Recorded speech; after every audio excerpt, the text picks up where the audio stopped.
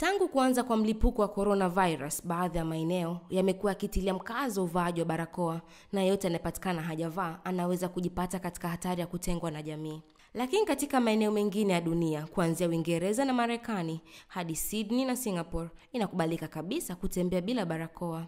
Huku Tanzania imeendelea kurekodi ongezeko la maambukizi ya virusi vya korona ikifika 299 huku wakazi wa jiji la Zanzibar wakianza kuchukua tahadhari kwa kuvaa barakoa. Ingawa wananchi wanaendelea na maisha ya kawaida, lakini kwa kiasi kikubwa wamekuwa wakichukua tahadhari na kuzingatia kanuni za afya. Lakini uvaaji wa barakoa haujawa mrahisi kama watu wengi walivyotegemea kwani maduka mengi ya madawa wamekuwa hawana, huku kwenye maduka ya dawa ambayo barakoa zipo bei imekuwa juu, huku ikimwacha mwananchi wa hali ya kawaida akibaki asijue cha kufanya. Ya, sijavaa kwa sababu maski zimepanda bei sana, na sisi hela ya kununulia maski inakuwa nchi sana kupata. Uh, bei ambayo ilikuta kwenye maduka ya madawa barakoa inauzwa bei gani? Kuna siku nilienda nikaambiwa maski moja, kuna maski zile zipo za tofauti tofauti, niliambiwa maski moja inauzwa elfu tatu kama sikosei. Na lakini kuna njia mbadala, siku hizi tumeona watu wanashona. Ya, ya kweli, na hilo ndo nimechukulia hatua hapo, nimemwagizia fundi wangu hapo, ananishonea baadaye. Kwa hili serikali inabidi ichukulie hatua, kwa sababu sisi ndo tunatakuwa tutakuwa tunaathirika, kwa sababu sisi ndo tupo kwenye hali ya chini, yaani sisi ndo tunategemea kazi ndogo ndogo, kwa hiyo maisha yanakuwa magumu kwa wakati huu. Navaa mara kwa mara, Na gharama yake ikoje?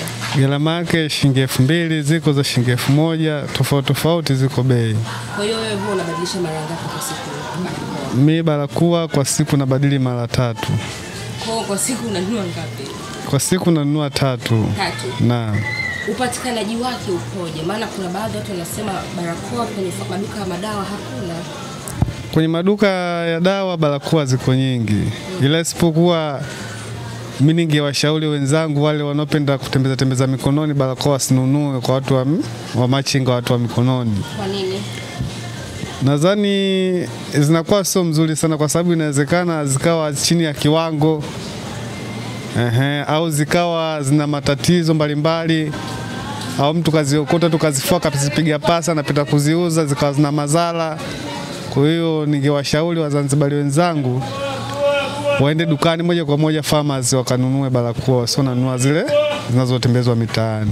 Na wapo baadhi ya wananchi wamekuwa wakionyesha hofu juu ya barakoa zinazotolewa msaada. upatikanaji wa barakoa, mimi naona kiupande mwingine kwa wale watu ambao wanatusaidia msaada si mzuri, kwa sababu huwezi kujua uko anapotoka. Sisi tunapokea msaada, sio tunajali msaada tu, lakini hatujali afya zetu. Maana huko anapotoa haujulikani kama umezitia nini, zile zimeletwa ni zimefanywa vipi, zime nini. Sisi tunajibebea tu. Mimi naona si mzuri kwa kweli. Sisi tunajikita tuna- sana katika masuala yale ya msaada, tupo kipaumbele, lakini mimi naona si mzuri. Nzuri zaidi zile ambazo tunazozishona wenyewe, tukazifua, tukazitia dito, kwa sababu zile tunajinini wenyewe tunazijua tunazijua zimetoka vipi, tume, zimefanya hivi, lakini zile zinazotoka huko mimi nahisi si nzuri. Nao wauza maduka ya dawa waelezea sababu inayopelekea bei ya barakoa kuwa juu. Barakoa kwa nini zina zinakuwa ghali? Mi nahisi kwanza kutokana na uingizaji, kwamba kama sasa hivi unaona kabisa kwamba kwamba hakuna ndege inayoingia, kwa hiyo maanake walokuwa nazo ndo wanazo, kwa maanake zilizokuwepo ndo hizo hizo, sidhani kama kuna nyingine zinaingia. Na hata meli zenyewe, kwa mfano ukisema unaagiza kutoka China sasa hivi kwa hiyo meli mpaka ifike hapa manake ni almost minimum mwezi mmoja na nusu.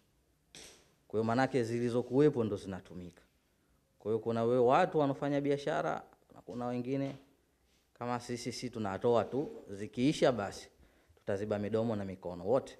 Mwanzo bei ilikuwa tofauti, sikumbuki, lakini ilikuwa humo humo kwenye elfu moja nafikiri sasa hivi imefika kwenye elfu tatu. Inawezekana kwamba hata zile ambazo tulikuwa tunazo mwanzo tunauza za elfu moja ziliisha.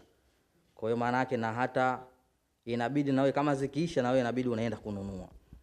Kwa hiyo sasa nawe unapoenda kununua unakuta nazo zimepanda. Kwa hiyo hii cheni ya kupanda inaanzia mbali, tangu wana, wanaoingiza wanaonunua kutoka kwa wholesale na wanauza reja reja. Kwa hiyo kwa maana yake kama sosi, kwanza kabisa serikali ingeanza kule kwa wanaoingiza. Mtazamaji wa KTV TZ Online, upatikanaji wa barakoa mtaani kwako upoje? Tuandikie maoni yako chini ya video hii, kisha usisahau kusubscribe, kulike na kushare. KTV TZ Online, hakika hii ni fahari yetu.